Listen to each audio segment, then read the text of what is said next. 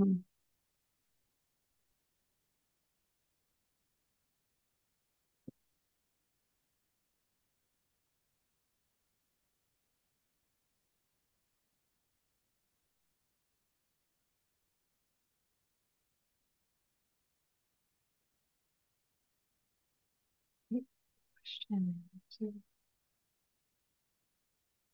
Good morning.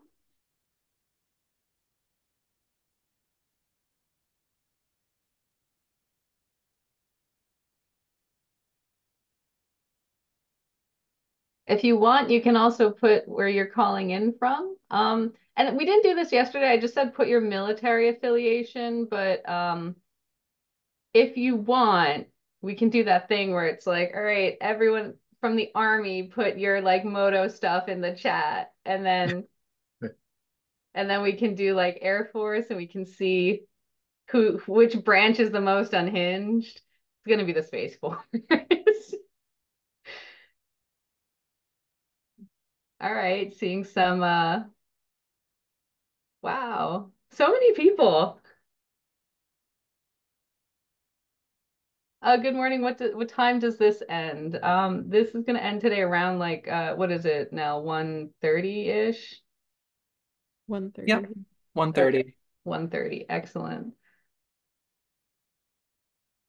Oh, okay. So it's 9:31. Um I know people will still be trickling in. We had about a third drop off from yesterday so far. Um, so I know the rest of you are kind of like a captive audience because you want your CEs, but regardless, thank you so much for being here with us on this Saturday to learn about veteran cultural competency. It is it is so special and so important that you guys are here to help us.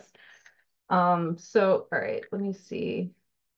Okay, so we're going to run through the slides um, before we start with our first panel. Um, I love that people are coming from all over, not just New York. They're coming from all over the country. Um, all right, uh, my son's a Marine. Okay, yeah, so if you have military family, if you're if you're from the Army or if you have Army affiliated family, drop that stuff in the chat.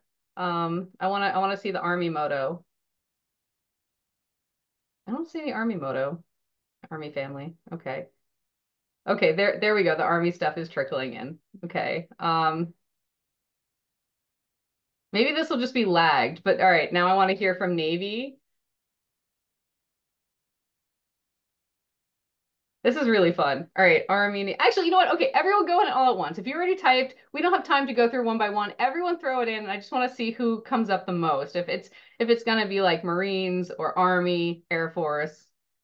Um, Excellent. Okay, uh, so just some housekeeping notes. Um, uh, Nell, Katie, and I will be going through the questions, um, the Q&A in the chat. We talked about the difference uh, yesterday. The chat is for comments. The Q&A is for questions.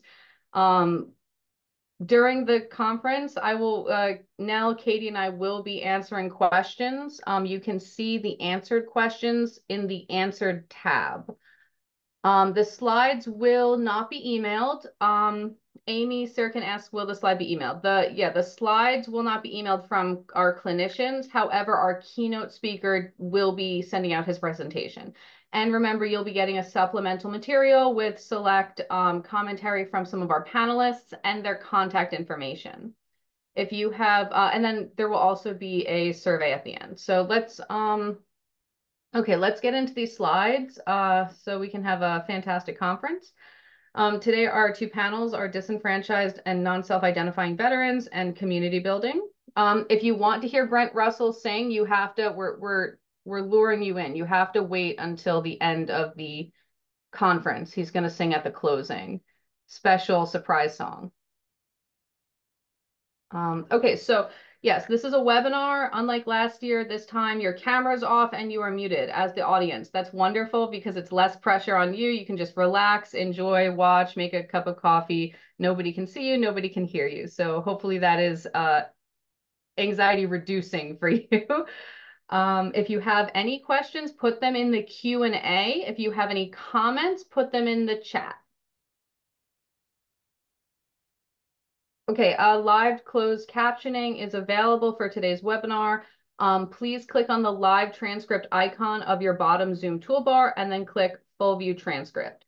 Um, this session will be recorded and it will be uploaded later in the month to the NASWNYS YouTube channel. So you will be able to see all of the, the panels um, in full uh, at, at the YouTube. Um, and then someone, Tito Mendoza asked if this conference has ever been offered in an in-person setting. One of the really beautiful things about our virtual conferences is it makes things just much more accessible in terms of who can attend um, and, you know, given the, the travel restrictions. So it's really lovely to be able to offer a virtual conference like this. Um, okay, so this is really important. Uh, NASWNYS is committed to providing a safe and welcoming environment um, for professional participation for all of our members, partners, and continuing education attendees. Our strength as an association is our people, and we cherish the diversity and strive for equity and, and inclusion. We value all of our attendees equally, and we will not accept any harassing or abusive treatment during the program or in any sphere of association uh, business that undermines this value. So by being here, the cost of entry is mutual respect.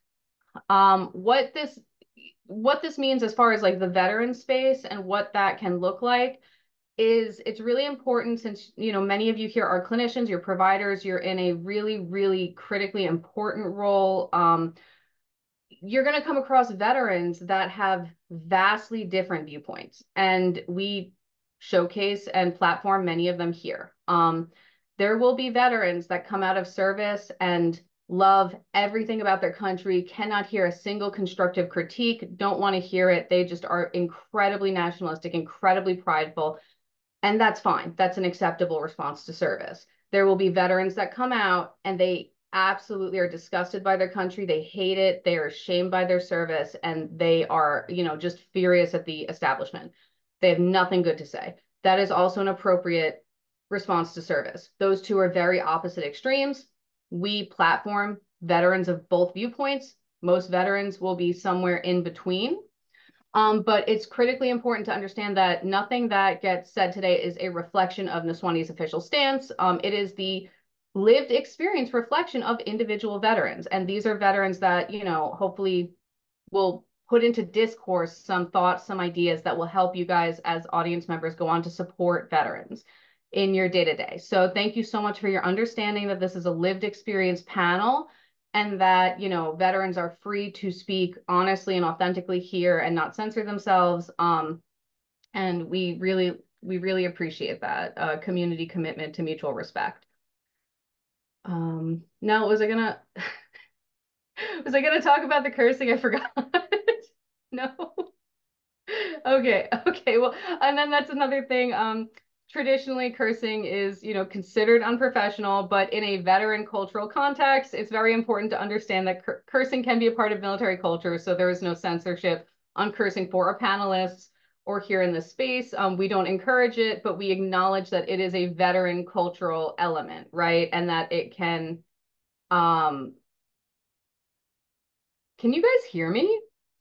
People are saying in the comment okay every okay uh, and that, um, sorry, there's a few comments that, uh, all right, thank you. um, so that we acknowledge that cursing, it can be jarring to some people and we respect and acknowledge that, but um, it's also important to understand that for many veterans who are commodified by the system, who feel unsafe around systems, um, the cursing can signal an anti-establishment kind of sentiment and build rapport. It's just it can be it can be a rhetorical tool to just build very quick rapport. I've used it many times as a peer. So I just wanted to share some insight because that can also be jarring. So again, this is a veteran cultural space. Thank you for being here. It might be a little surprising, but we're gonna we're gonna experience it together.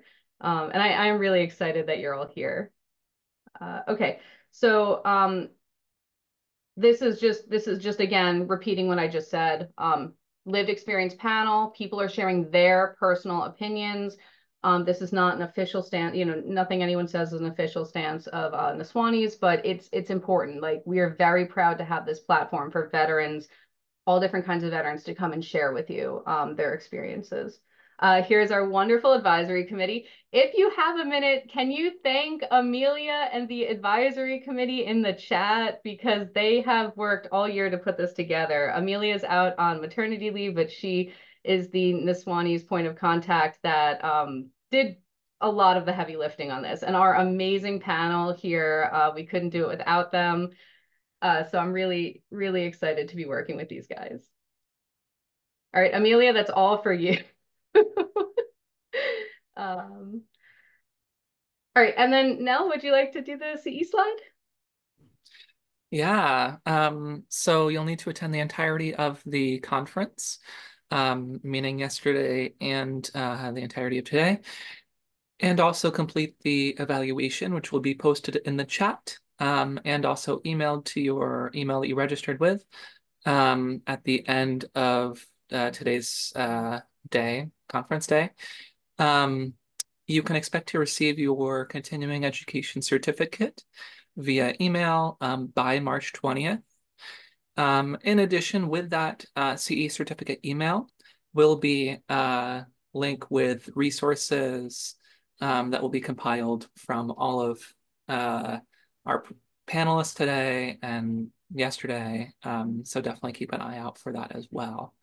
Um, and of course, if you do have any issues uh, accessing or questions about your CE certificate, you're welcome to um, email our help uh, help desk info. I'll type it in the chat, info.nasw New York State at socialworkers.org. So yeah. Um, and I uh, I will put my um, if someone I think someone just asked how do I get on a panel or I know someone who wants to be on a panel. Um, I did put my email um, as a committee member. I'm I'm keeping a running document of a bunch of um, some you can you can nominate uh, if you want. So my email is there if you have any questions, comments, concerns about veteran mental training initiative. If you have any NASWNYS or CE credits, go go to Nell. go to Nell. Um, okay, thank you so much. We're gonna have a fantastic panel today, and uh, I I um is Aynisa here? Is she did she finish breakfast? Is she on? Not yet? No, I'm on. Oh, yay. Okay, excellent. Thank you so much, Aynisa. I'm just gonna um share my screen. Can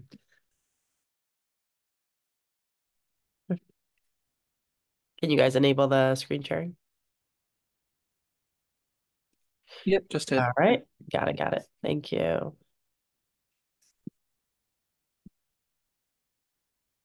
All right, so um, we have two workshops for you today.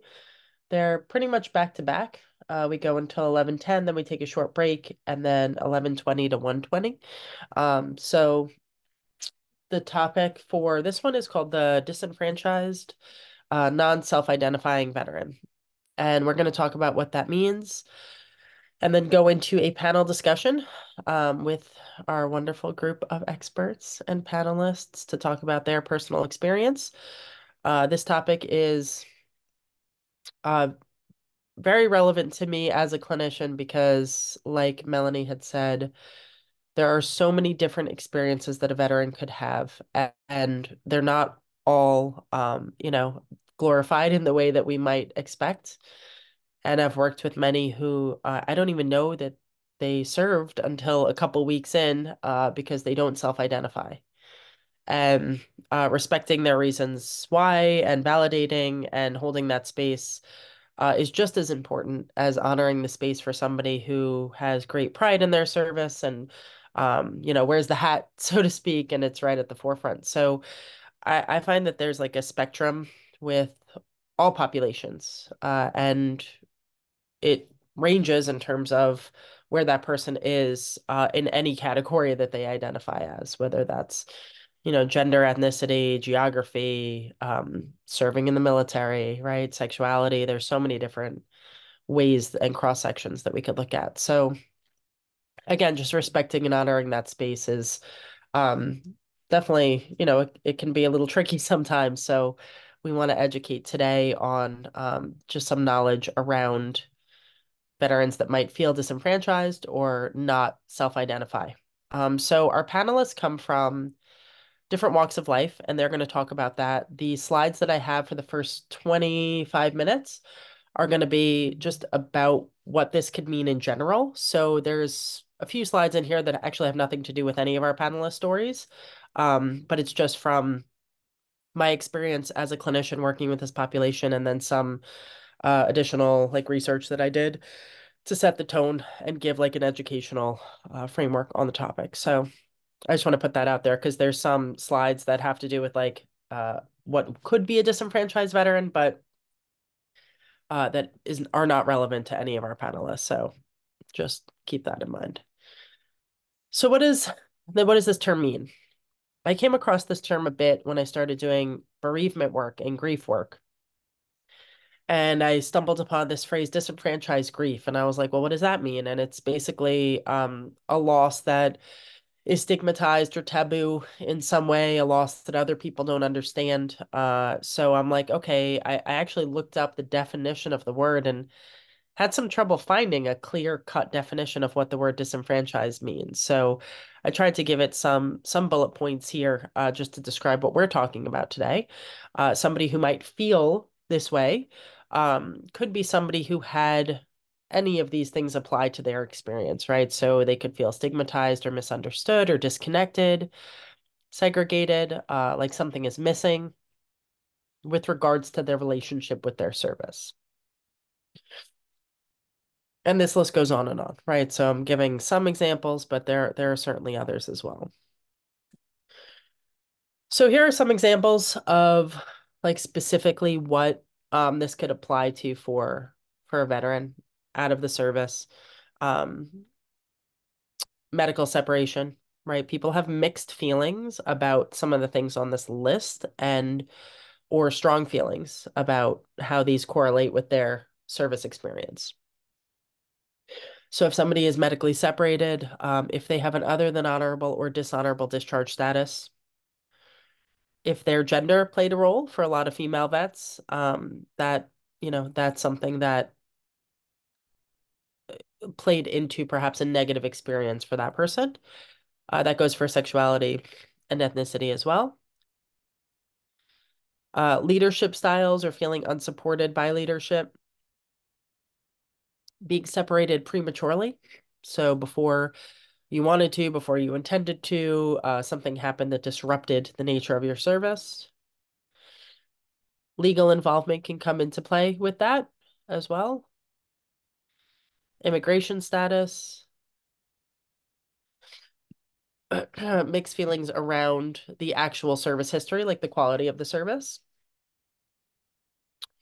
uh, gaps in care that stop individuals from getting the support they need. So maybe they don't have access to benefits because of something that happened or difficulty navigating the VA system uh, post service. Losses that the person experiences, uh, mental health, medical health. I mean, there's there's more and more, but these are just some areas uh, that could potentially cause this experience of feeling disenfranchised or stigmatized around your service. And what does that actually sound like? What does that feel like to the individual? Again, I don't want to uh, assign, you know, feelings to, especially to our panelists today. So I want them to have the freedom to just give their own stories and and tell that them to us um, after this part. But some feelings may include, and I I have this in the slides because I want. There's a lot of clinicians signed on today, uh, and I want everyone to feel empowered, like tuning in to different things that could come up so if somebody ex expresses skepticism, distrust, feelings of betrayal, regret, resentment, mixed feelings, strong feelings in one direction or the other, um, feelings of disappointment, rejection, like these are these are just things to tune into. Uh, and they could indicate that that person has some type of mixed experience with regards to their service. So I I come from more of like the critical atmosphere of care. I've always worked in inpatient settings, so um, that's the lens that I that I see this content through. Um, so inpatient rehabs, psychiatric hospitals, things like that, always inpatient level. So I see what those things can turn into for the worse, right? Like whether it's addiction or mental health or just somebody um, struggling and then not knowing what to do with that experience and then it leads to other things, right?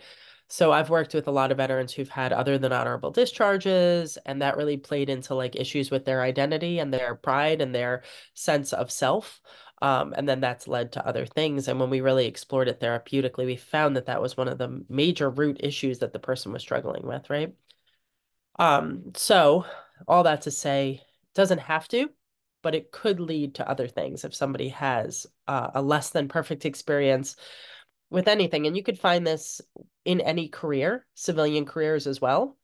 Um, today our focus is on, you know, veterans, but just putting that out there that this happens with other walks of life and career paths um, as well. So, what are some subgroups that might be higher risk to experience what we're talking about today, right? And, and this doesn't qualify everything and everyone, um, but it does break it down. And, and I have kind of like a slide for each of these areas. And then after that, um, we really do, we segue into the panel. So, um, yeah, bear with us for a couple minutes here because a lot of people have questions. They just want to know, like, well, what does that look like for XYZ? So I try to separate that out a little bit. And again, these are just potential subgroups. Like this is doesn't have to be any of these things. Um, and there's additional ones that I'm missing as well. So women of service might experience discrimination, unequal treatment, um, more susceptible to harassment. Many female vets I've spoken to feel like they constantly have to prove themselves and they are the minority within the minority, right? So people who serve are minority in the country anyway, and then females um, are additionally uh, narrowed down. Uh, sexual trauma survivors can be male or female.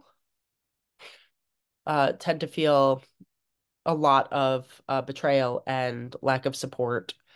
Uh, they are often at risk of losing different things connected to their service, like their benefits, um, their career, big reason why there's un- a lot of unreported cases of sexual trauma is this fear of what's going to happen to me. I, I want to continue serving. If I report this, will this affect my ability to do that? Uh, recently, there was a shift over to third party oversight, meaning that these cases can be kind of tried uh, and legally overseen uh, by the civilian side as opposed to internally within the military. That was a huge movement.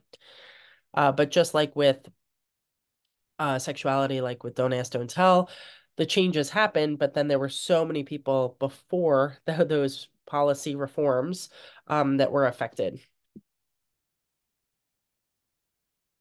I forget the year that this reform happened. I should know this, but it was in the 2000s.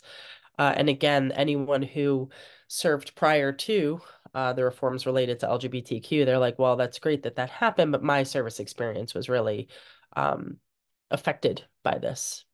And of course, there's still uh, vulnerability for discrimination, harassment, and bullying with any of these uh, subgroups as well. Veterans who have not served in combat. We brought this up a couple times yesterday throughout the workshops as well. Um, as far as like they they're not sure where to fit in or uh, how to define their service, how to qualify their service. Some are not comfortable self-identifying just because they say, "Well, I I didn't see combat, so therefore um, I don't want to identify as a veteran." Like some people think that that's um, you know an exclusive idea. Uh, you have to see combat in order to to say that you're a veteran. So there's mixed feelings around it. Obviously, we know, hopefully, after these days of education, that that's not what defines you as a veteran.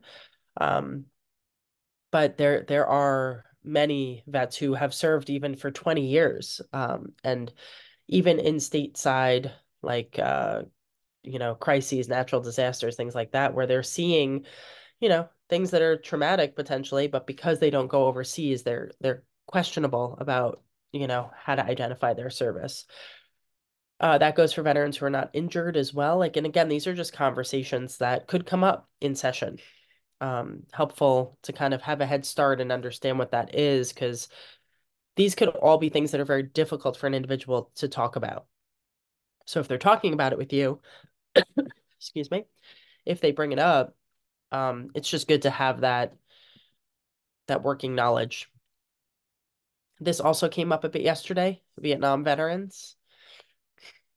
Uh, I worked with one individual um, who had said he was like, I, I went from Woodstock to Vietnam and I was completely lost in the whole process, right? He's like, they literally plucked me from Woodstock and put me in Vietnam. Um, so I always think about that with this generation because it's definitely a different world culturally in terms of pre-service. Excuse me, guys, sorry um, and also post service, the community that they come home came home to. the political landscape, the community landscape, uh, friends and family, even. and this quote on the bottom uh, never again will one generation of veterans be abandoned by another applies to many Vietnam vets who um, who feel that way. Like they they want to overly support this next generation uh, because of what happened to them.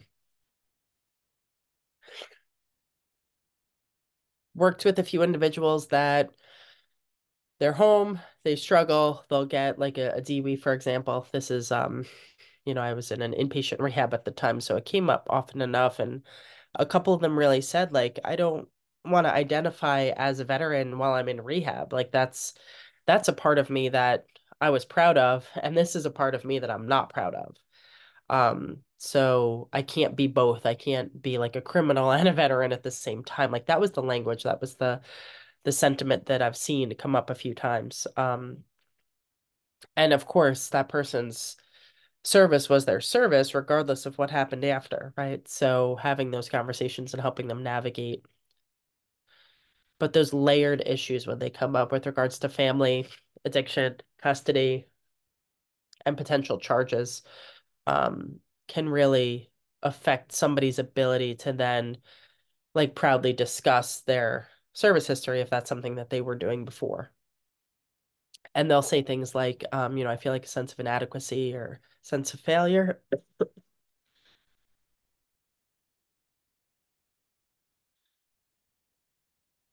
Instead of set, shutting down those conversations, it's really good to have those conversations with individuals as well.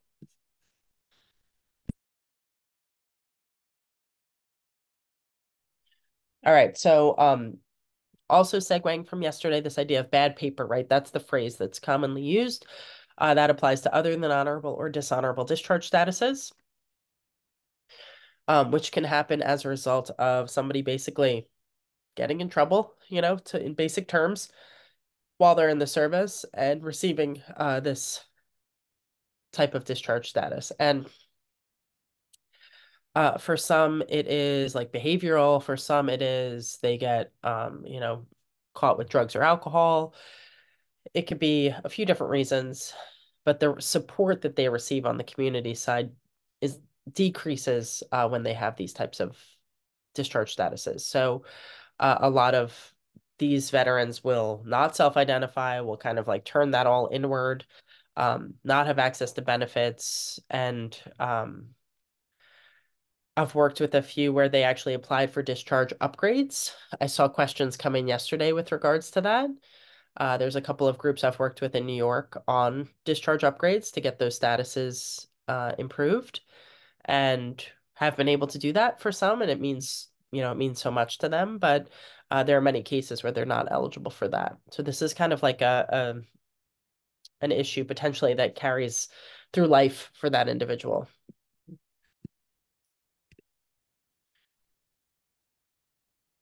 If someone uh, separates prematurely, whether it's due to illness, injury, um, they'll eh, express that sense of unfinished business.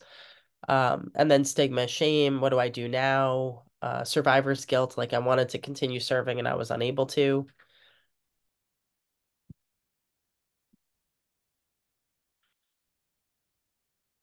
And this alternation between like I want help, but also I want to be left alone um, this can be seen kind of across the board, like with a lot of veterans I've worked with, they they want the help, they want to um, have those movements and and learn coping skills and increase self-awareness and all of that, but they're also trained to kind of like compartmentalize. So navigating layered issues like everything I just described can be further complicated by this oscillation between someone really wanting help but also wanting to like do it on their own and kind of um, find their own way without having to lean on others for help.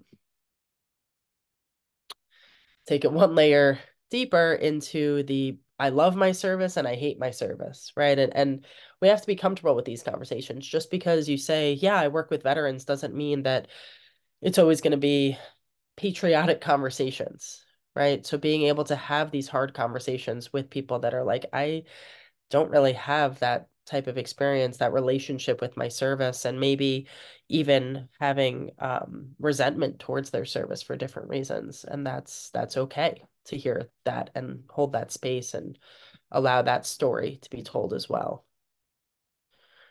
We brought up moral injury yesterday. I know there was some like controversy even around the phrase of it, um, but it is a concept that can come up and it has to do with someone's uh, identity and belief system tied to their service experience. So individuals who have this presentation um, might ask introspective questions. Um, it's different than post-traumatic stress, but there can be an overlap. There are some trends to be aware of when we're talking about this and some questions to be, you know, to listen and tune into. These are just some examples of what those questions might be. Somebody who's questioning if they've remained, um, you know, a good person, if they've maintained integrity, their purpose, am I here for a reason? Have my morals changed? Has my belief system changed? So just something else to to listen for, right? And um I would say none of these things are like a quick fix, but it's all great intel for therapy. And these are all things that should be, you know, honored and spoken about. And language is important when we're talking about these, you know, these topics. Um, because again, the person might not feel entirely comfortable or even know how to speak about um, the nature of the relationship to their service, especially if it has these strong mixed feelings uh, tied into it. But the uh, so our next topic for today is like call to action, like you know, community building. Why do we do the work we do? Um, and there's some statistics in there like the the rates of suicide and overdose uh, and mental health in general for veterans are higher than they should be. And there's a few missing links that have been theorized. One of them is this idea of like a lot of veterans have you know injuries related to their identity or their belief system that we're really having trouble identifying and supporting in the community. Um, there's other there's other areas as well that um, we think might be missing but this is one of them. So all that to say it's not just like um, suggested that these conversations are important. It's really um, imperative that we we allow deeper conversations to to occur. uh, so veteran and civilian identities, we have to also understand that there are some veterans who they identify more as civilian, and that's that's also okay. Um, and not forcing them to to oh well that must be for a reason like let's get let's get you tied more into your veteran identity. Might not be appropriate for everybody and that's okay too. There are a lot of parallels between the two identities that um, one may choose to segregate or correlate or that could evolve over time and change. All of those options are viable and really the bottom line is like helping the person navigate and find themselves you know find their place in the world right? That's uh, there's no right or wrong way to do that. Somebody may need help with um, navigating their benefits. Someone else may need help with connecting to their family. Someone might walk in and want to be identified as a veteran immediately and someone might say i did serve but i am not connected with my service at all and i really don't want to talk about it and that whole spectrum and beyond that um, are all completely relevant, permissible, valid. Um, so we tried to pick a group of panelists today that can kind of uh, further this topic in conversation about their own experiences um, and kind of give a different look at some of the content that we've been presenting over the past day. So my first question to each of you will be um, can you just tell everyone who you are and like your relationship to your service? Just started out with that. I know we're kind of jumping right into it, but I think it's really important for people to hear. Um, and there are a few questions after that as well. But if you could just tell everyone your relationship to your military service as like a starting point.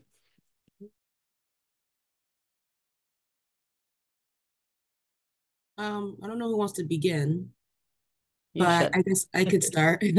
um, I'm Adjahni Dèsirè. I served in the U.S. Army, um, and I guess my relation to my service currently is I don't openly identify Um, it's not something that I I don't feel connected to my service, and it's not something that I like to bring to the table when I'm meeting new people because that's not the trait, I guess you could say, that I want um, to influence how people see me. I don't feel like it's the, it's the strongest thing I, I, I could present to people about myself.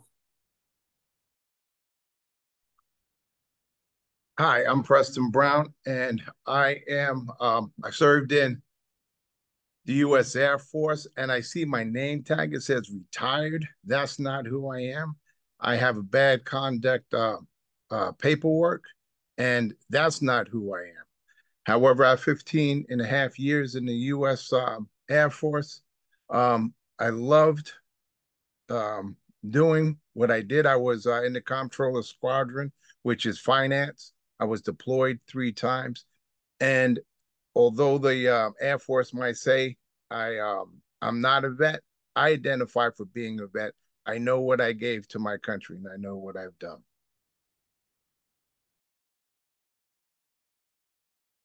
Thank hey you, everybody. Uh, oh, everyone, Gavin Walters, uh, United States Air Force.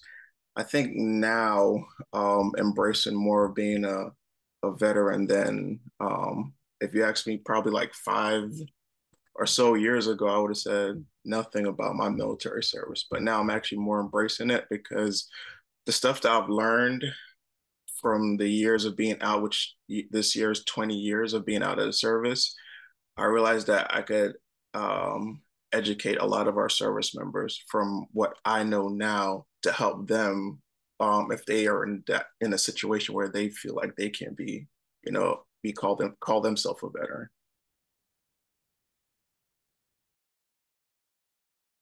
Good morning, everyone. Uh, Amanda Matteson. I served in the Army National Guard um, and deployed to Iraq in 2008.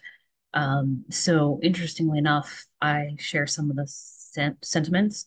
Um, I initially did not identify as a veteran, especially when I went was in school and undergrad and uh, while I was still serving in the National Guard, I didn't tell people I was in the National Guard.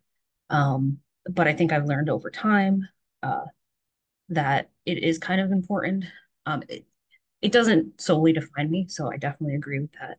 Um, but again, like especially being a woman veteran and knowing that other women and other veterans in general just don't identify um, i feel like like it's important to recognize that their service is you know like was said earlier it's important anyone that served anyone that you know made that sacrifice regardless of what their experience turned out to be because uh as a theme to this conference is that each veteran's uh, experience is unique.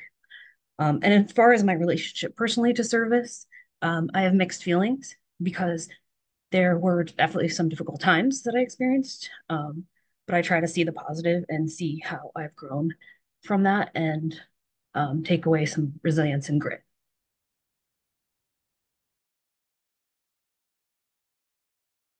All right, thank thank you all uh, for opening with that and few questions that that come to mind. I think this topic is just so so important, um, and not one that you really see out there being covered. So, can you uh, you could tie in personal or professional? I know you've all um, you know also heard about the lives of others and their experiences. So it doesn't have to be about you; it can be. Um, but can you just talk about reasons why a veteran might want to self-disclose, why, why a veteran might not want to self-disclose uh, their service history. What are some reasons that that come to mind uh, with that question?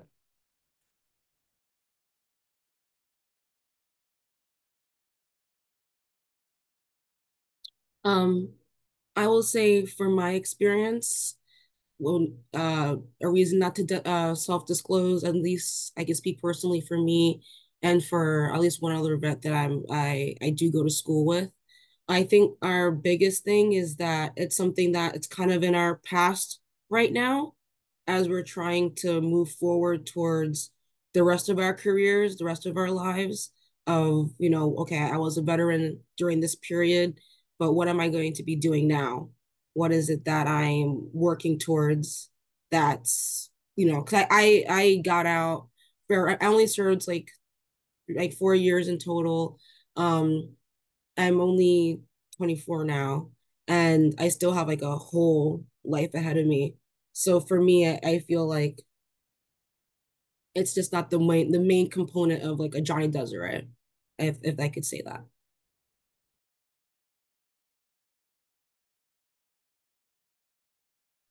Uh, I could, Preston, did you want to go?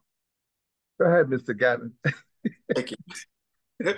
um, I could use myself as a uh, an example where when I first came out in 2003, it was like right after I went joined after high school and getting medically discharged, I felt abandoned. So by my abandonment from the military, because when I when I was leaving Lackland, I threw my uniform in the garbage. Like I disconnected myself from anything that said that I was part of the military. Got on the train with the ticket they gave me and said goodbye. And when I went home, um, it was one of those things where I didn't want to tell people that I was in the military, but it, but then they say, hey, go to the VA, you could get care and services. I was like, great. So when I went there, they said, no, you can't get VA services. So I said, okay, well, thank you for, you know, destroying my body and making me go, you know, get out of the service early and now not even helping me. So because of that, um, I can say that medical discharge and that disconnect and uh, feeling like the military uh, just abandoned me at the time of need. And I think the time where I literally was going to kill myself, um, it made me not even want to promote them, talk about them, or encourage anyone to even join the service. So I think that's for me, that's like one reason why I think someone will not even want to identify as a veteran. For uh, myself, it's easy um, for me to identify as a, a veteran, even knowing of a bad conduct discharge. And I have um, to look at um, who I am and where I came from. Being Shinnecock, being Native American, um, we've always had to self-identify as, as uh, who we are. Um, never being recognized or acknowledged as Native American. So we're the oldest. Shinnecock is the oldest um, self-governed tribe in New York State. We're the now the uh, 565th federally recognized tribe. But just recently, the town of Southampton has recognized South uh, Shinnecock as being a tribal nation. So that's 384 years. So when we talk about historical trauma and having to be able to self-identify and knowing who I am, um, that was a strength for me. Um, I know the time I gave to my service, I was deployed to Proven uh, Force in Desert Storm. I was deployed to Operation Provide Promise to Turkey, uh, Bare Base. I was um, deployed to um, Operation Deny Flight. And I volunteered for those positions because I understood what my mission was, even though my family may have not agreed that it was my war. I understood that it was my commitment and my responsibility as a, a, a U.S. Uh, Air Force vet to fulfill that need. So um, I know the discharge or the circumstances that I had to undergo and face to the point of, uh, and, and uh, I agree with Mr. Gavin, the shame. Um, seeing where I was almost, you know, to the point of suicide, and it was a process going through. But I I do not allow anyone to take what I've done away from me. So um and I make it very important, especially when I go out for employment. I let people know where my what my background is, that I have a dishonorable discharge or bad conduct discharge from the U.S. Air Force because I believe integrity is first and foremost. Is me um, and people uh, knowing my history with with the uh, Air Force.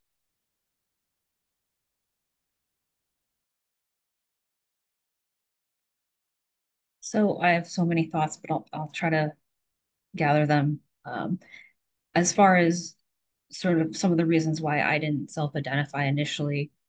Um, so my experience in the guard, while I was honorably discharged, um, I had a bad experience with a first sergeant who threatened me with a dishonorable discharge and gave me extra duty. Um, and basically, the the story behind that is when I was in Iraq, um, I went to a combat stress clinic to get some mental health support. Um, and after that, you know, I went back to duty. I stayed in country, served my time, got back home. When I was back home, I went to a warrant officer recruiter because I wanted to go from enlisted to officer. And my first sergeant immediately called me into the office because she found out about this um, and said that I was never going to do that. Um, you know, you, because of my visit to the combat stress clinic, she said she could get me dishonorably discharged, threatened me um, with all these things. Um, fortunately enough, I was able to switch units and get out of that toxic environment. Um, but shortly thereafter, I left the National Guard. Um, and it was because of those reasons, because I knew I was never going to go anywhere because people were going to hold me back. Um, so, you know, after that, it was kind of hard. And I didn't know, I have, again, still have mixed feelings to this day because on the one hand, of the bad experiences, but on the other hand, from those experiences, I've, this is why I now identify because my, my career has been to help veterans um, with their mental health and well-being. Um, that's what my degree is in. That's the research that I, I do now. Thanks. So I'm, I'm keeping an eye on the chat as we do this. Uh, first of all, everyone is like blown away by um, your ability to to talk about these stories. Um, these are not, you know, generally what we hear. So it takes a lot and we appreciate it. A couple questions came in asking like what was your lifeline? Like what what helped you um during that time that you kind of are maybe identifying as like a difficult one? Uh or if you didn't have a time period like that you know what what helped you transition? You know what what was something that stands out to you? Um but if if you were struggling like what you know what was the one thing or the couple of things that that pulled you forward uh to the place where you're at now I could kick this off. Um, I'll say nothing really. Um, I was at a point because when I came out, I was discharged for. Uh, I say I told when I was like one of one percent of folks that end up getting medication in service and then end up having seizures, headaches, like whole bunch of stuff happen. And then when I got out, it's like, you know, the military didn't want to help because they kept saying that it was prior service, meaning that it was basically my fault you know? And then when i got my venture got my service connection like 10 years later after fighting them um it, it didn't say that it was their fault. It just says well we can't prove otherwise so we'll give you the service connection. So they still didn't even own up to you know what happened. And within those time of um i'll say feeling abandoned the hardest thing was going through the the sickness like the seizures and the headaches and the dizziness I I wanted to be a police officer and then become um, mayor of my town. I lived in Mount Vernon, so I, I graduated high school in Mount Vernon. So I said I'm going to come back, become police officer, and then become mayor of Mount Vernon. And so that was like that was like my goal. But unfortunately, because that happened, that time frame of me trying to figure out life of like going to school, going to different schools, different jobs, it was having seizures all the time. And if you and I and I think of an example like how can someone identify with having seizures if you never have it? It's like stub your toe over and over and over throughout your whole body. And the agonizing pain that you feel from that seizure is like basically what I experience all the time. And honestly, you know, it, up to today, I still, you know, have uh, depressive and uh, suicidal thoughts because when the pain happens, I'm like, I don't want to deal with this anymore. Uh, you know, and this is a self disclosure right now. about three weeks ago, I did have a seizure that I had such pain, and I told myself, I wish this was the last one, please, you know, take me, God, like right now, because I was at a, I was at a, I've been at a place where I went in healthy and I came out broken and lost and so destroyed. And the military that caused all of this, you know, basically abandoned me in my time of need and the feeling of like, hey, you know, I need your help. I, and I and I actually fought to stay in while I was sick because I'm like I I was mission ready. I went to I had I went I was in RTC in um in um Mount Vernon High School, so I was prepared mentally to serve my country for 20 years, and this would be this would have been 20 years of serving if um I actually stayed in. Um, so that time of just not being, you know, that time period, I think I was not I wasn't with myself. Um, abandoned. I think I try to find reasons to not be close to people because I was trying to find a reason to commit suicide. Because if you commit suicide, you know no one will will mourn you for you, and that's what I want. I want no one to mourn for me because I'm like I don't want anyone to to feel what I felt after I'm gone. Like just push me aside and like make me become dust in the wind and sadly, you know, some of those thoughts do come up, you know, these days, which um, I'm always praying about. Uh, I have a family, which I'm always caring about. But, you know, when that pain happens, when that seizure happens, or that severe headaches happen, it brings me right back, right back into that place of the military caused this, the military made this happen, and the military still hasn't owned up to what has happened to me to this day. So um, it's it, even though I still, you know, even though I identify as a veteran now and I wear my Air Force hat, you know, it's to definitely to educate those that are, you know, that do experience that, you know, that trauma and and feel abandoned and you know not able to complete their service because they are so passionate about it and will you know willing to do what they need to do to to, to protect the protect the country, but unfortunately they can't complete the mission because you know, you're you remember you're the property of the U.S. government when you sign that contract and you wear the uniform. So by them saying that we don't need you is basically saying that you're worthless to us and you can't do anything that we tell you to do. So goodbye. Um, so it, so for that time period, I think it was it's been the, the most difficult time in my life.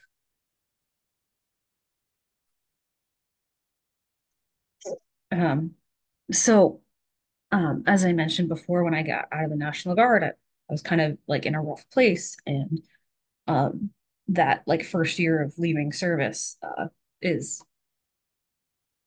researched to be kind of high risk for a lot of veterans. Um, I got into a situation um, with alcohol where I, not intentionally, but could have killed myself. I totaled my car um, in a crash, and thankfully, uh, no one else got hurt. Um, but I could have died. Um, and I think I was so lost because I had this idea of what my life was going to be like in the military. And I left knowing I couldn't do that. And so what really helped me turn things around is like finding a new mission and purpose. And I think I've heard this from many veterans. Uh, my mission was going forward to help, you know, veterans that have felt betrayed, that have had mental health issues, that have felt, you know, um, used up and discarded by the government. Um, so that's when I found that, you know, I took this unfortunate experience I had, but I wanted to use it in a way to help others. Um, and I got involved in research and research specifically on peer to peer veteran programs and found that that peer environment can be so healing for some and and you're you know as a veteran getting out of the military you don't have to necessarily be connected to military to have a mission and purpose but i find i think that finding whatever your mission purpose is can be very helpful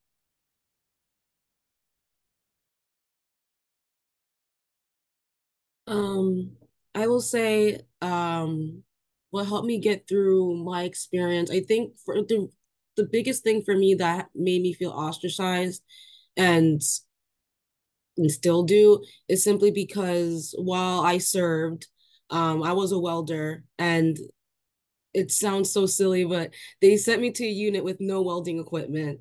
So I, I show up to my unit with no job. Um, and they send me to the motor pool, and I am a New Yorker that didn't have her license at the time and has never worked around vehicles in her life. And on top of that, the Army has not trained me to work with vehicles. And now they're expecting me to be like, well, you're going to show up now um, and you're going to work on these Humvees. And it's like, I don't want to be responsible for what's going to happen to this vehicle if if soldiers get into this into this vehicle and it goes off the the road or whatever because I have no training on how to fix these things.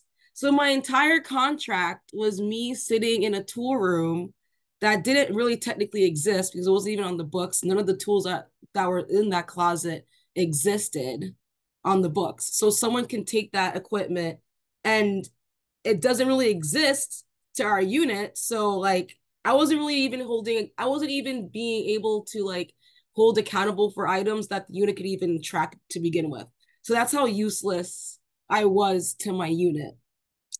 So the only thing that made me feel like I could get through the rest of my contract, understanding like, wow, I was trained for a job that I can't even use, can't even practice being a welder. So it's not like I could leave my contract knowing at least I have this useful skill and I can get a really good paying job with it.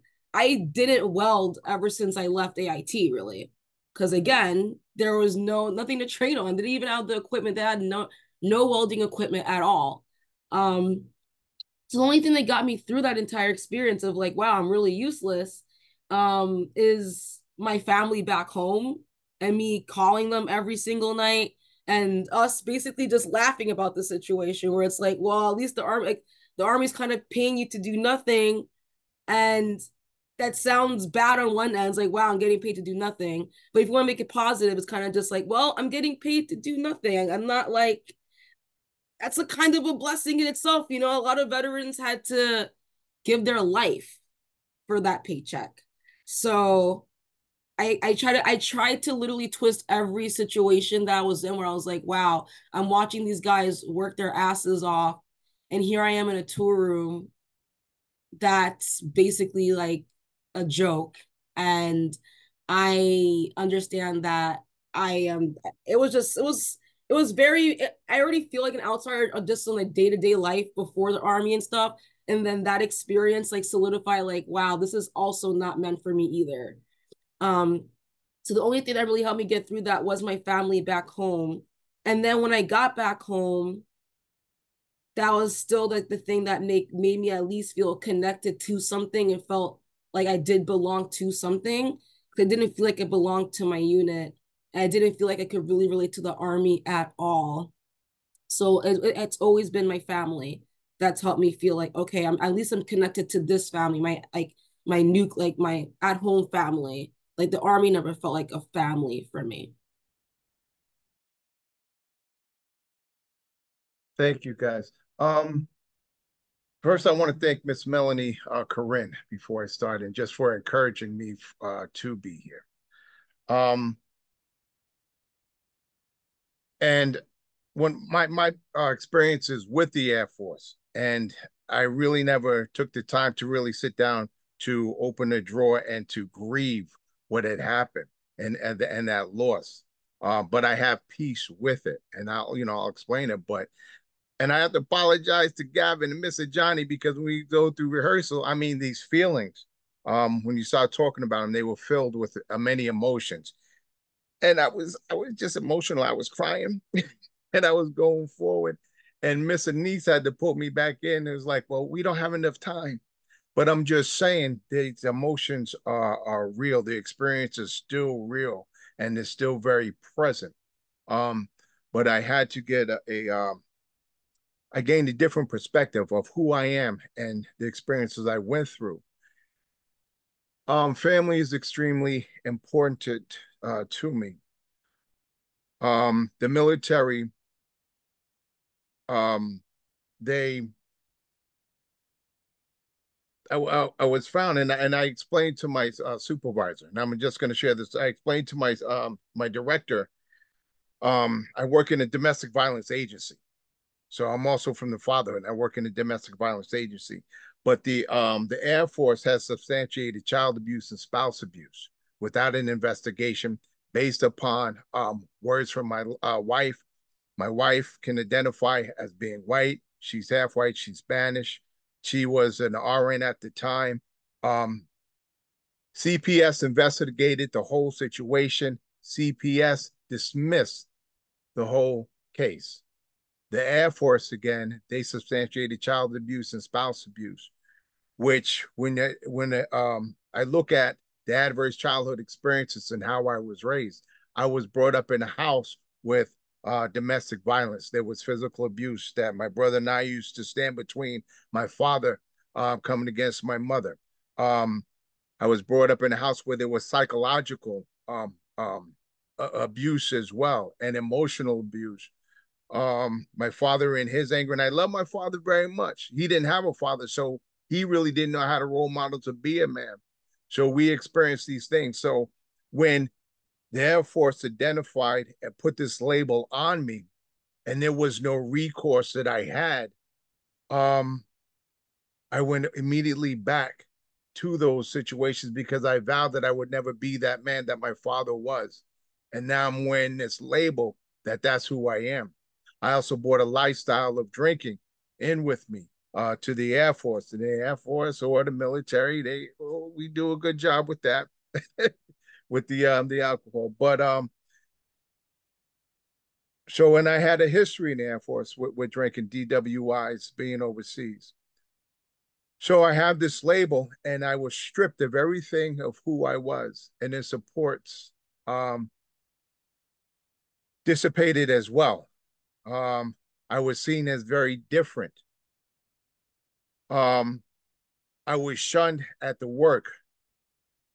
I was demoralized. Uh, the sergeants would come to me, a female sergeant. There, there was uh, adultery that was happening with my wife, even with SP. I was being threatened by uh, an SP. Um, so there was a lot of um, a lot of activity, and I really haven't really gone by and and and to label this and to really put things into context. And this is part of my trauma with the military but I, I like I said, I, I think I, I, I thank Melanie because now I'm at a point in my life where I have to sit down and really look at it to be able to identify it, to um, put a put a label on it, to be able to articulate exactly what happened, because I need that for myself. And it's taken 24 years to even come down and really, this is the first time that I had the chance to even to speak about it openly. Um, but after I, I uh, was uh, discharged from the service, I spent three years and I was fumbling and trying to hold on to a relationship that wasn't there. And I, I, I knew at this time that in order for me to be the best father that I had to be for my children, I had uh, custody of my daughter and custody of my son, that I had to be become a better man. So I went into uh, Word of Life Ministries. It was a residential program for broken and damaged men, and it was faith based. And I ended up staying from 2003 up to 2008, where I became the program director um, and also the administrative director and the program director of this men's shelter. And God, I found um, He had to strengthen me. And God became my source of who I am. God created and gave me an identity as well.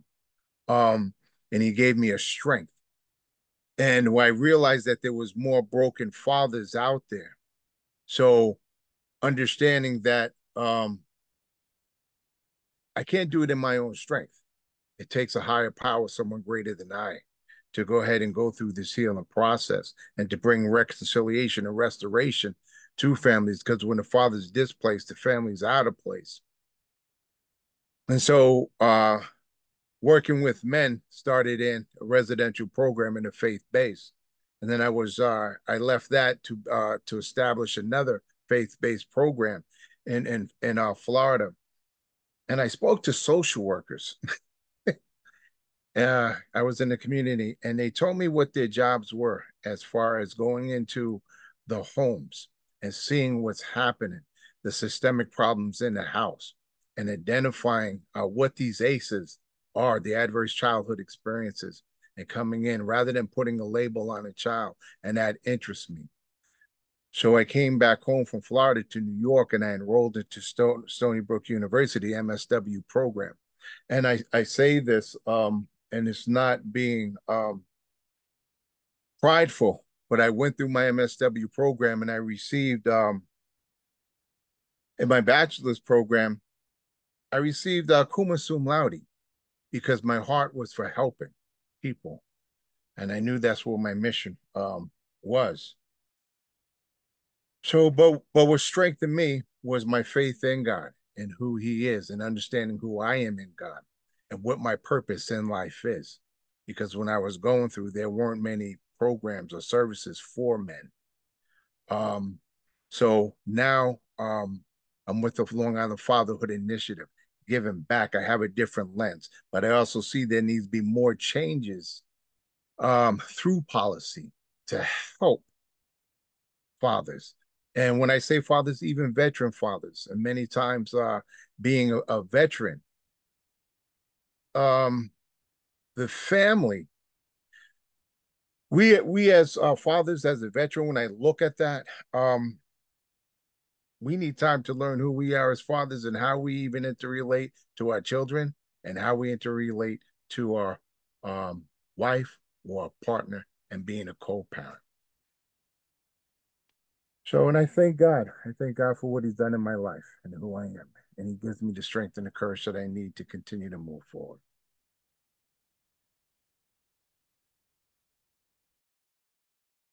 Thank each of you for for bringing this to light. Um, endless positive commentary uh, and support and validation for putting all of this out here. Um, and as I said in like our prep meeting, for sure, other people have similar experiences or feelings as you, and and maybe don't talk about it. So, uh, I think that that just has such value. Just um, the the unspoken topics, right? The unspoken experiences. So I have a list of questions here that I'm looking at. I'm trying to think which direction to go in now. I think what would be, you know, based on everything that that you're each saying, um, what would be a good way to support a veteran who might be unsure about disclosing their service or not want to self-identify? Like, is it a matter of um, just pivoting completely away from the topic? Are there things that they should say? Are there things that should not be said? Um, what would you recommend? Let's say like there's a clinician, you have what, 1,300 or so clinicians on here today they have a veteran they're working with and it's something's resonating there with regards to this topic right? What should or shouldn't they do with that information? So honest oh, oh go ahead go ahead, no no go. I i would say it's it's okay to do whatever they're most comfortable with right?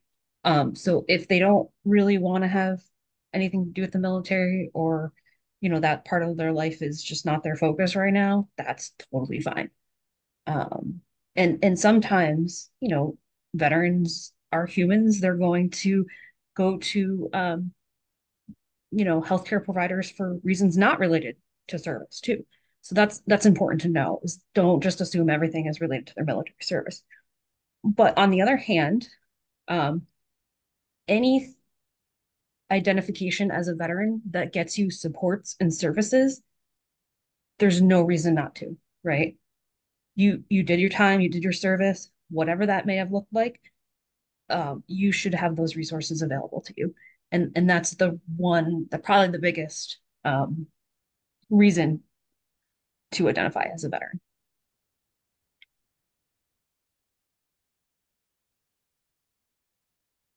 Um, I was gonna uh, say, I know that the, we all know the definition how the, the federal government defines a veteran, when active duty time, like all that stuff. so when someone asked me at that time, I was like, no, because I knew the definition for veteran. But I, but we know that you know if you ask someone, have you served your country? You know, it's a much different response. Like, yeah, I served in the military.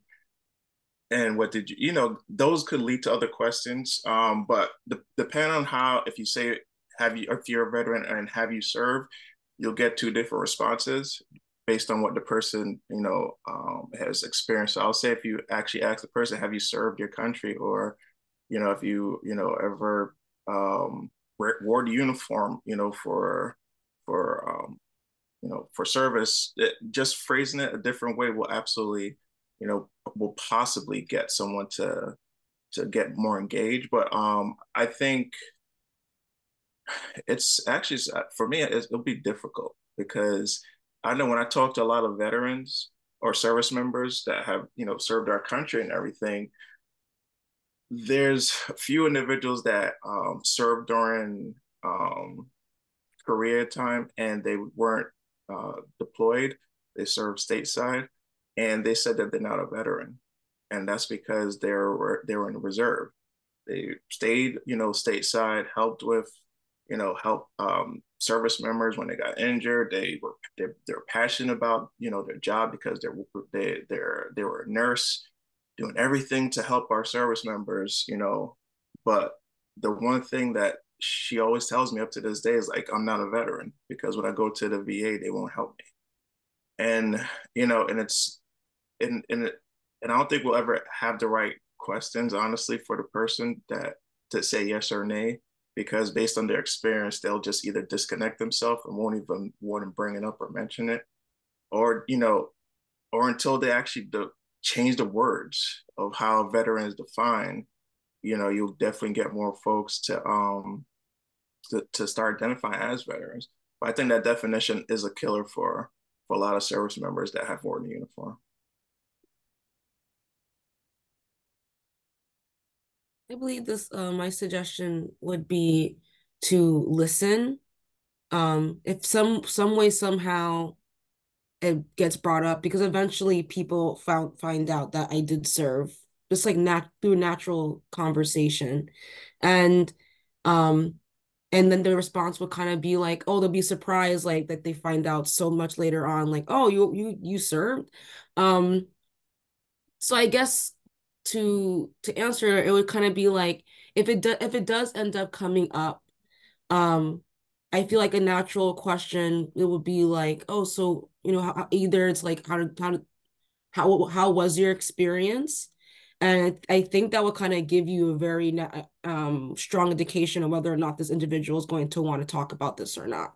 Um, it's either they're going to go further in depth into what happened, or they're going to be brief about it and you can already tell it's okay they're going to give me some information but they're not going to they don't really want to talk about it which is really where i kind of lean where it's like i give you a quick synopsis and i'm ready to move on.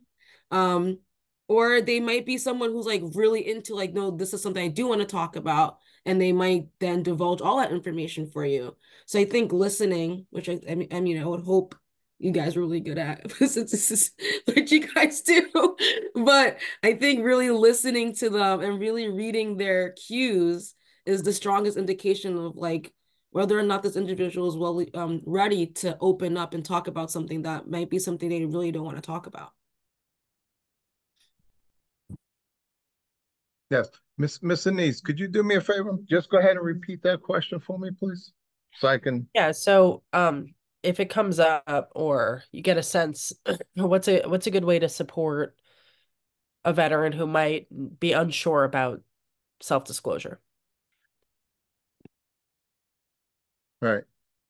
Um i believe it is important regardless of for this is for me um and even to share with that veteran that's an experience that they share and it's something uh, that's a part of uh, their life and to be able to identify with it whether it's um, positive or negative. and i say that for us to look at a strength base because even in all experiences there is a strength within it um, when we look at even if it is negative we have to be able to um, recognize that um, that aspect and and i say this is because if you look at a wheel you know, I went to Dr. Bo O'Donnell when I was in the Air Force, and the first thing uh, he said to me, he said, Preston, you're so strong. My life is falling apart. And he said, You're so strong. I'm like, What are you talking about? He said, You have to look at everything about you. He said, There's a wheel, and on that wheel, you're a father, you're a vet, you're um, he said, You're an alcoholic, you're a drug user. And he said, and if any one of those pieces are out of place, then your life is not going to be in place. And when the ball bearing uh, locks, either the wheel will lock or it's wobbling. So it's important, even those uh, bad experiences, identifying as a vet, at least be able to acknowledge it, to accept it, and to move on. But most of all, identified what we did in the midst, even in the adversity, and use that as a, as a positive uh, influencer of who we are.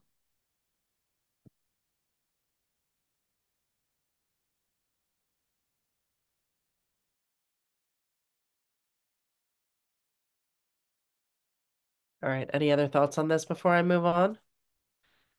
Great suggestions. Is there anything that stands out to you that someone said that really rubbed you the wrong way with regards to your service history?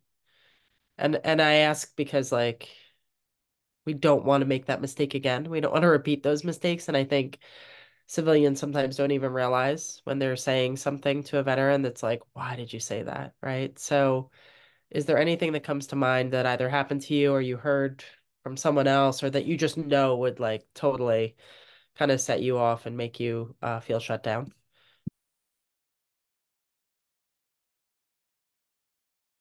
Um, I've I've actually spoken about this before, and I think last year's um uh, uh, conference, but I mentioned I mention. I'm, I like to mention all the time because when I've finally got my service connection and was able to go to the VA and see a clinician, um, and that was like my first time actually speaking to somebody. So my first time actually going to someone and saying, "Hey, something is wrong with me."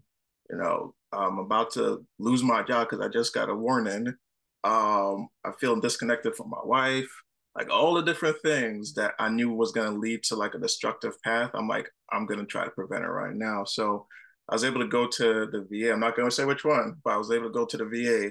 And um, after I think about four or five sessions, the clinician said, um, this is not word for word, but they they said, um, you know, I, I didn't think that you're going to be in the session for this long, or they didn't assume that I was going to need more help, you know, from us just talking. And it, it was, it's not word for word for how they said it, but it made me think that, you know, going into the VA with all these problems, all these challenges, you basically had a, you, you, you kind of knew what you wanted by us just having this discussion. You didn't really follow. You didn't listen to me. You didn't you were empathetic with me. You weren't, you know, you didn't understand what I was experiencing. I'm a black man coming to see you for the first time, trying to get some help, and you all you could tell me is, um, you, I, she they didn't think that I was going to need any more help. And for that time, for the first time, I realized that, you know, I I basically labeled all professionals that same way. I've labeled them as prejudging and and uh, always determining what you want as a service member because I was like, okay, so I guess because I didn't come in talking about I was in combat, uh, I didn't I didn't projected every single thing that I think a veteran would say. Like I was in combat, you know, I saw all this stuff, like all the different things that will lead someone to be there.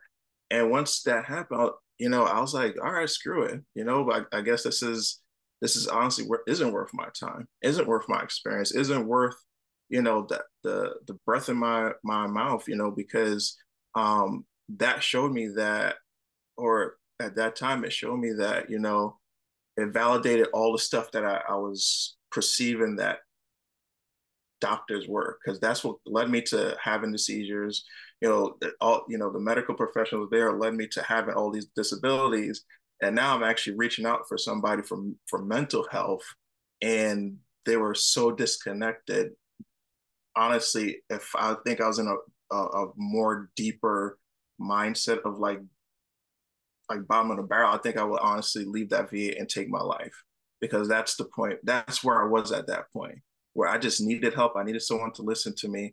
And when they said that, that just made me just say, screw it, you know.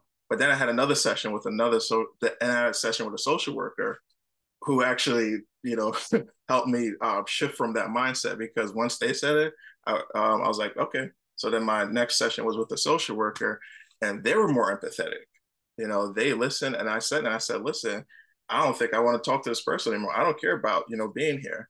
And you know, they were empath- they empathized with me, and we talked, and you know, for and that time, like just like that, I shift from saying, okay, if I leave this place, I'm probably going to do something to, okay, at least somebody's here willing to listen, talk, and understand what I'm experiencing.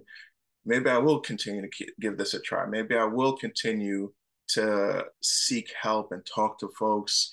And you know, and I and I've continued that. I think it's been five years now since I've been in therapy. Um, you know, for me, it's it has been a challenge, but I'll say that person's perception of who I was as a veteran and not what they ex- expected to be a veteran really deterred me from, you know, could have deterred me from going to the VA. And when they talk about how, you know, the why veterans will kill themselves, that's why. Because the per the individual some individuals that's in there will not understand why that person is there and they already have perceptions of why a veteran will be there so I think that's one way, one reason why, one one thing that um, I've experienced. I guess uh, my experience is that the uh, as, far as in the Air Force, they treated the uh, behavior and not the person. So they're always looking at the behavior, and this is the scope of practice that we have to work in, meaning regulation. Um, and and again, I, I said I, I was drinking and driving, went through, and the first thing I identified as Native American, and immediately they said, "You're an alcoholic." and when they said that, I immediately shut down anything that they had to say to me after that, because they didn't even know my story, where I came from, what happened. So, um, and again, it's uh that that prejudgment. Um,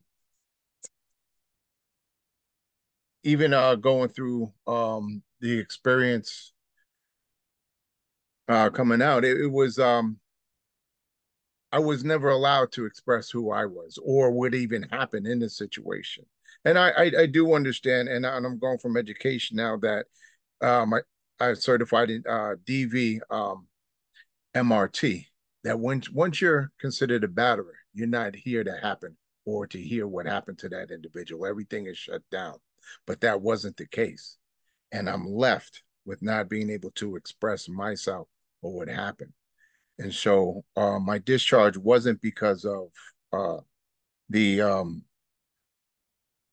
it wasn't because of what they, um, the, the charges that they said.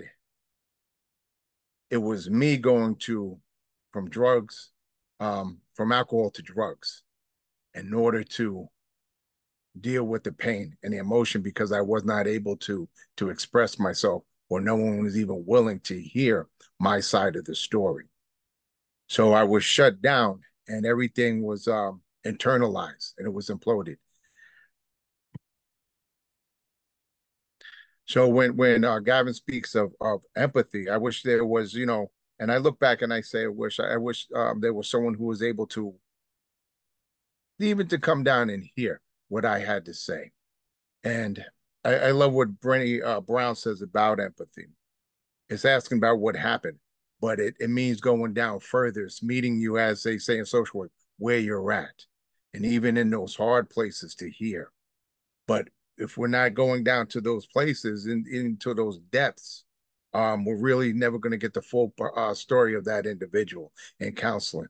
And being in the military, uh, any military person, they want to know who they're in the trench with, who's got their back. And it's the same thing with counseling about them opening up. So, guess.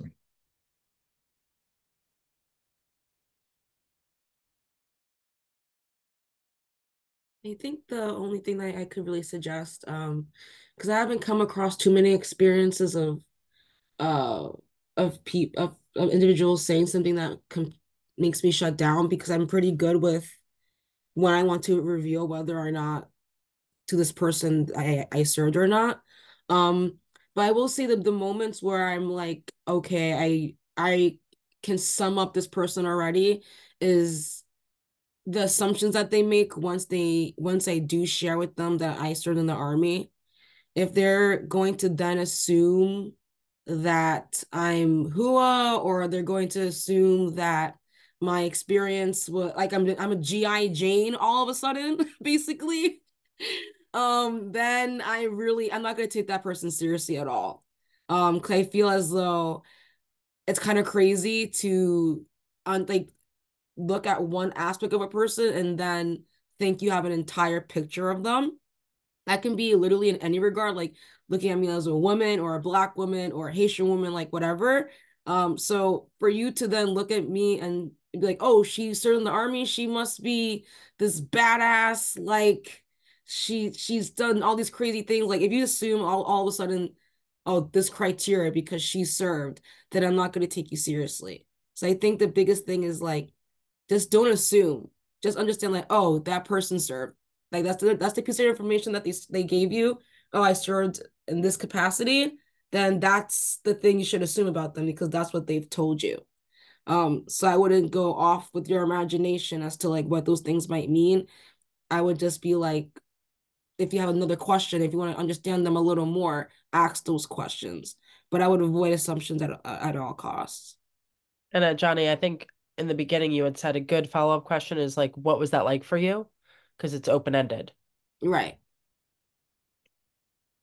it's great thank you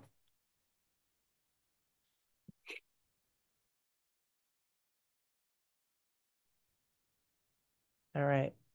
Any other thoughts on this? Amanda did you say something? You didn't. I didn't because i think whatever you want said to... was, was okay. so spot on you know don't make assumptions. Uh, check, you know, what you think you know about military service. If you haven't served, embrace that you know nothing about it. And just listen to what the veteran has to say about their own experience. So a couple questions came in and you don't all have to speak to it, but the whole thank you for your service statement. Thoughts on that, alternatives to that?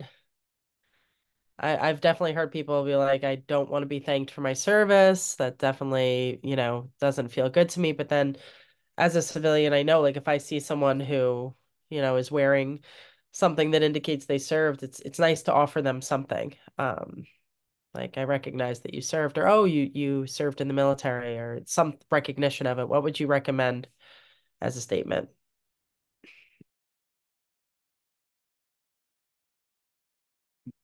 Um, I can say the thank you to the service. For me, it doesn't uh, affect me, faze me, or I don't think twice of it.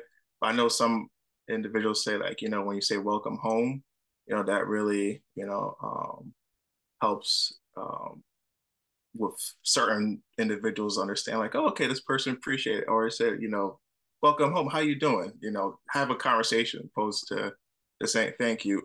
Because I mean, thank you is great, but sometimes that conversation you have with somebody like right then and there will allow them to understand why you're saying thank you or you just saying thank you for you know the hat that you see or you know you have a veteran plate whatever it is but they absolutely appreciate i think if you talk to vietnam vet or the older vets they'll definitely have those conversations i, I know i like to you know talk to people when um, they say thank you and say hey well, your time in service and i and i'll absolutely you know, share my time and ask them, hey, do you have children that's going in there? And then I'll educate them, you know, because and then I'm like, wow, you know, this is a great way to educate this family that have a family member that's going in the military. Like understand all these benefits and things before you get out. So for me, it welcomes a conversation that will allow that person to learn more about the military. Yeah, this is such a a, a mixed bag question because I know very many different veterans who feel strongly about it. Um, and I think um, before you say thank you for your service to someone, ask yourself why are you saying it? Like um, Gavin mentioned, like like the veteran's going to know. Are you just saying it because that's like the the norm, the polite thing to say, or are you saying because you genuinely feel that and you want to know more about this person's experience? So I mean, there's lots of other things that can be said.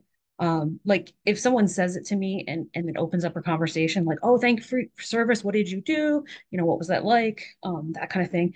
But if it's just like I, I've had too many agencies and, and people that know that I'm a veteran and say that and just feels ingenuine. So that would be my answer. I appreciate the warm fuzzies. no, I say that because um, I know the sacrifice um, that I put in. I know the time that I put in. I know the hours that I put in. So when I hear that, there is an acknowledgement because um, I could be sitting in with uh, individuals who look at my discharge and don't consider me um, a vet. And when someone says, thank you for your service, uh, for me, I hear acknowledgement of what I did do it's um it's feels much better than being ignored.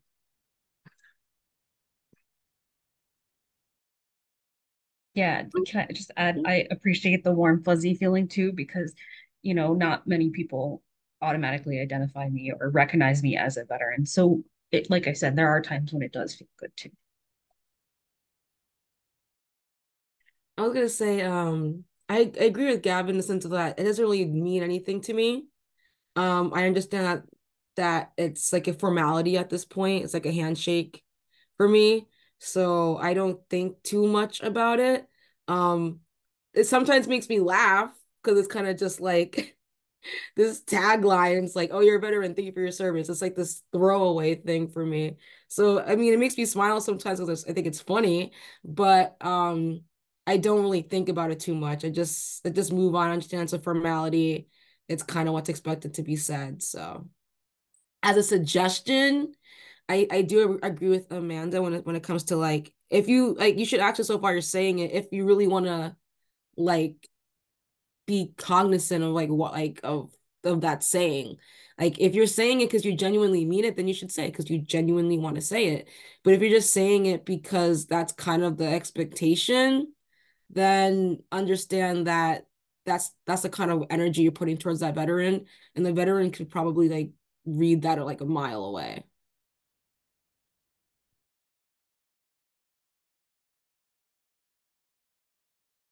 All right great feedback super helpful. Um i like that comment about like authenticity too as opposed to just like like when you pass somebody by and you're just like how are you? But you keep walking. Like you're not actually asking them how they are. Um so yeah, ta taking the pause is nice. I've found like if you see, I think someone made a comment about like, what if I see someone just like out in passing? Not that they're gonna want to stop and have a whole conversation with you, but just like taking a pause as opposed to just saying it and and going on, like it's just a check in the box. Um, maybe the last question. We have just a few minutes left. What is an area that you would like to see improvement in either in the military or in the community. First thing that comes to mind, like, wow, I really wish XYZ. What do, what do you think? Core veterans, obviously. I definitely have to say uh, the reintegration. Um, I know what when I was coming out, it was, you know, here's the papers, let go home and figure it out. And I don't think it, it changed to the point where when someone is getting just discharged, they get all the information, but also the education too. Because I know when someone's ETSing out, you know, they're just thinking about leaving service and and not thinking too much about okay, what I do after service, but just like, hey, this is the end of contract. Let me do what I need to do. But I think that information is really, really uh, important. The education, especially knowing like what's happening in your community. If you're active and you've been out for four years, a lot of stuff happened in that four years in your community. If you're going back there, you want to know, you know, what jobs are available. You want to know what um, things are is capable, you know, what you're capable of doing. Like a lot of individuals don't know that, you know, depending on how they serve, they could get, um, I think, and if anybody's in front of VA, please, you know, correct me.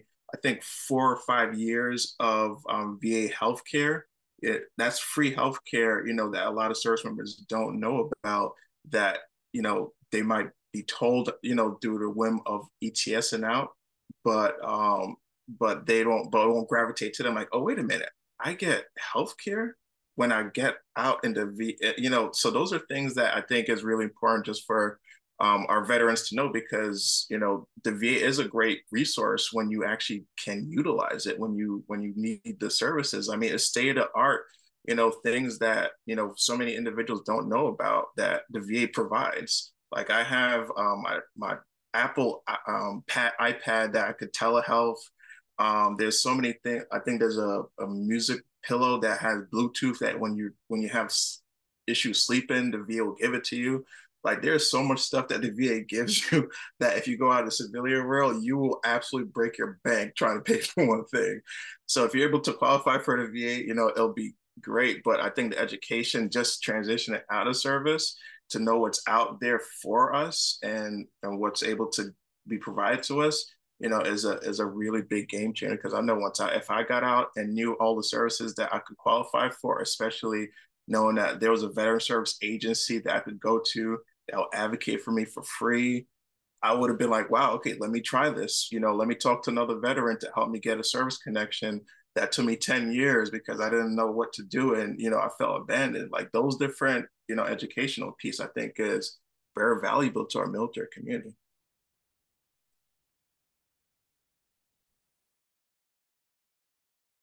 I will say, um, since I think I'm the most recent one like I got out out of this panel, um, I will say I think there's been a lot of improvements in the sense of that I did have a general understanding of what to expect when I was getting out um, and my resources. Also, when I went to community college and I got involved with the veteran space there, um, that's actually how I met Melanie. And she has, she's like an encyclopedia of resources. So I know I was just very lucky to land on an individual that was like, I'm literally going to take your hand and guide you through this like a child. She makes me feel like I was definitely taken care of. So I guess though I I I guess in the sense of like how to improve, um I just would say maybe just individuals who are involved in the veteran space, like I, I which I already know because I met so many of these people who work who work within this space. I, I love seeing how eager you guys to learn. I think just encourage those that flame of wanting to know more. The more you know, the more you're knowledgeable, um, the better. Because if you can, it, it's the worst thing that could happen is like you're not updated on the actual resources and you put a veteran towards a direction and they show up and it's not even there anymore. Like that could be very devastating to them. So just to keep eating all this information, staying updated on this information, so that when you do come across a veteran that just got out, um, and and maybe you can be that person, maybe you can be their Melanie, and be like, hey, I know you just got out. Here are all these resources. I hope the I hope the service took care of you in this way, but on the civilian side, I can help you with these things. Um, I guess like just like stay updated. Don't get tired of learning more because I just know that industry is always changing and it can never be a bad thing to like know what's going on. Yeah, I'd, I'd like to follow up on that because I, I fully agree. Um, uh, I mentioned I was a researcher before, and there's this terminology called the military civilian gap. And because so few of the population of the United States serve, um, and there's a smaller percentage of veterans now than there has been in the past, that there's becoming a disconnect between what people know about military service and who they, you know, how many people do you know in the service. So just like was said, be curious, um, bridge that gap, you know, on, try to come to understanding here, like what was said before, listening to people's experiences. That I just that's the number one, I think. Yes, um, I agree with Mr. Gavin, Mr. Johnny, and Amanda. Um, reentry is so important in that transition. Military is a it's a different culture altogether, and uh, being able to reintegrate into society is so important. Um, I um, admire, I love, man. Uh, what is it? The Dwyer Project, the peer to peer, and I know there's um, different clinicians from all over the nations. And the Dwyer Project is so successful. Miss Melanie, I, I give you kudos. I got to give you kudos too. you're so instrumental in um in your old position, but it's so important to um reentry, whether veterans, and I, I have to look from being uh locked up, reentry back into society. And if you are a clinician and you're on Long Island and your client is a father, Long Island Fatherhood Initiative, we help also with those skills. I have to put a plug in there, but it's very important that we um as men understand our role in the family and that times are changing. We have to be able to uh, change with those times. Um, and that we have a very important role um, in our families and we are valued. So um, thank you. All right. Thank you to each of the panelists today. We are going to take a break for the next few minutes, but I just want to honor their bravery and their stories. And I just think um, the unspoken, you know, stories and perspectives are so, so valuable uh, and common actually when working with veterans. So um, more common than than you would think. So uh, our attendees and clinicians, I hope this was helpful to you. And our panelists, I'm just humbled and um, you know, very respectful of what you shared with us today. So thank you for that. I'll turn it over to Melanie and then we're going to take a quick break. We we can take the break now. I just wanted to reiterate the thank you. Um, this panel is like extra scary because a lot of, you know, people are sharing very, very vulnerable things about why they don't self-identify. So thank you guys so much for speaking. Um, and thank you to the audience for being so uh, loving and supportive um, and holding space for this vulnerability. And um, guys, look at look at all the thanks in the chat. That's all for you. Um, people really appreciate you being vulnerable. All right, so um, I'll see you guys in 10 minutes for our next panel, which is on community building. If you have more questions, um, feel free to throw them in the chat. I am answering them as best as I can. Thanks. Thank you. Take care. Thank you. Take care, everybody. Enjoy your weekend. Thank you, everybody.